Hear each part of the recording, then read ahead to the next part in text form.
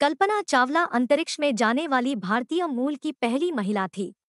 उन्होंने पहली बार उन्नीस सौ सत्तानवे में एक मिशन विशेषज्ञ और प्राथमिक रोबोटिक आर्म ऑपरेटर के रूप में स्पेस शटल में उड़ान भरी थी। कल्पना चावला की दूसरी उड़ान एस टी एक पर थी, जो शून्य एक फरवरी 2003 को नासा का अंतरिक्ष यान कोलंबिया अपने स्पेस ट्रैवल के बाद सात क्रू मेंबर्स के साथ पृथ्वी पर लौट रहा था। पृथ्वी पर वापस लौटते हुए कोलंबिया वायुमंडल में प्रवेश करते ही दुर्घटना का शिकार हो गया। लोगों ने आसमान से आग का गोला धरती पर गिरते हुए देखा। इस दुर्घटना में सभी सात क्रू मेंबर्स मारे गए।